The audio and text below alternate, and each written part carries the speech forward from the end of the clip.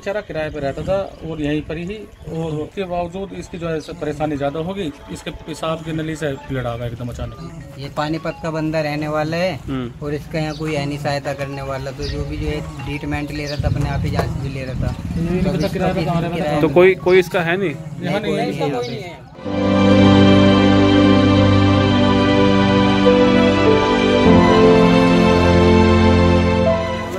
हालत बेहद ज़्यादा नाजुक है। कोशिश कर रहे हैं कि उसको प्राइवेट अस्पताल में हम भेजेंगे और जो भी हमसे मदद होगी हम मदद करेंगे। उस भाई को भेज दिया है भाई को हमने हॉस्पिटल भेज दिया है और हम भी जा रहे हैं हॉस्पिटल में और हमसे जो मदद होगी इंशाल्लाह करेंगे। उसकी हालत बेहद ज़्यादा नाजुक है पता नहीं ऊपर वाला अल्लाह रहम करे वो बच पाएगा नहीं बच पाएगा लेकिन हम पूरी कोशिश कर रहे हैं कि उसको बचाया जाए क्योंकि लॉकडाउन में बहुत ज़्यादा दिक्कत है। हमने अभी भेज दिया है उनको बाइक से और हम जा रहे हैं तुरंत।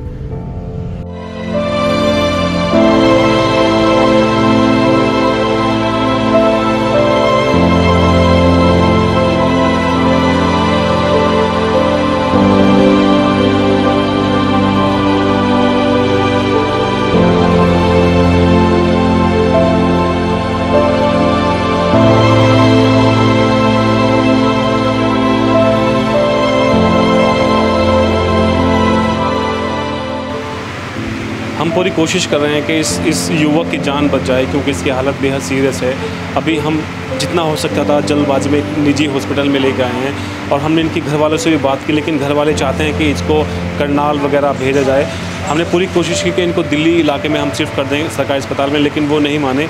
अब हम इनको एंबुलेंस के थ्रू हम इनको करनाल भेज रहे हैं और रास्ते में फिर उसके बाद करनाल में जाके इनके घर वाले इनको एडमिट करेंगे और दुआ करें कि ये बच जाएँ और इनके घर वालों के पास में एंबुलेंस के भी पैसा नहीं है, वो भी हमने जितना हो सकता था बारह तेरह हज़ार रुपये का टोटल बिल था, उसमें कुछ लोग उसके घर दे घर वाले देंगे, कुछ लोग, कुछ पैसा हम देंगे, लेकिन हम इसको चाहते हैं कि इसके ये घर पहुँच जाए। फ़िलहाल इसका इलाज चल रहा है और जब थोड़ा ये ठीक हो जाएगा, उसके बाद एंबुलेंस में हम इसको अम्बाला या जहाँ भी ये चाहते हैं घर वाले वहाँ भेजेंगे। लेकिन हमारा मकसद यही है कि सिर्फ़ इस युवक की जान बच जाए और ये अपने परिवार में सही सलामत पहुँच जाए। Thank you.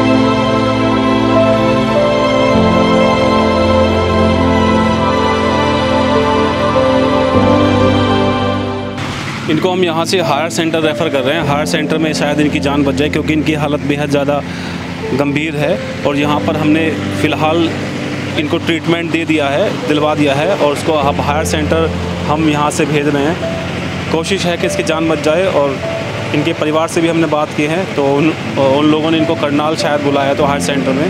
तो वहीं हम इनको भेज रहे हैं और कोशिश करेंगे तो आप भी दुआ करेंगे, अल्लाह ताला इसकी जान बचा दे।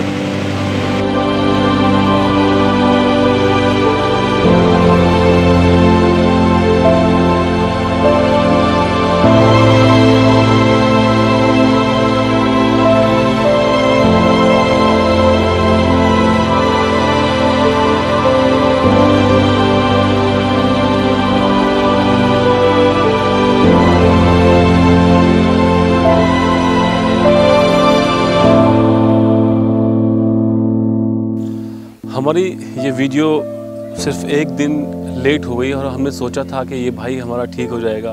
उसके बाद हम अपनी वीडियो को डालेंगे, लोगों को दिखाएँगे कि एक जान बच सकी।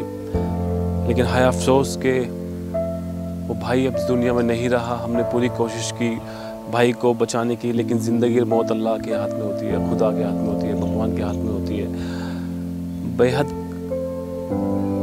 कोशिश के बाद भी हम उस भाई को नहीं बचा पाए। हमने एंबुलेंस करके उसको उनके घर तक पहुँचा दिया, लेकिन जब तक घर पहुँचने के कुछ घंटे बाद हमारे भाई की मौत हो गई।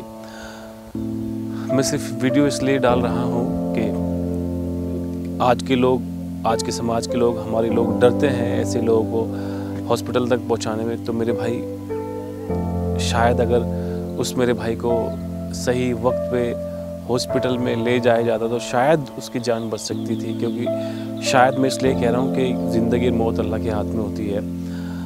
हमने पूरी कोशिश की, लेकिन कोशिश करने के बाद भी वो भाई नहीं बच पाया। तो बस यही आपसे रिक्वेस्ट है कि कभी भी आपको ऐसा मौका मिले कि किसी के हेल्प आप कर सकते हैं तो हेल्प कीजिए।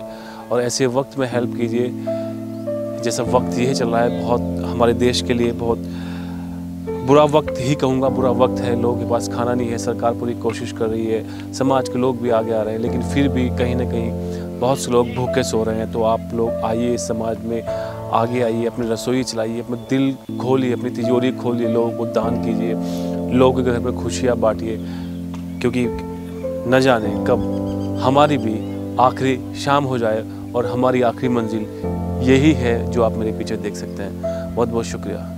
अल्लाह हाफिज़।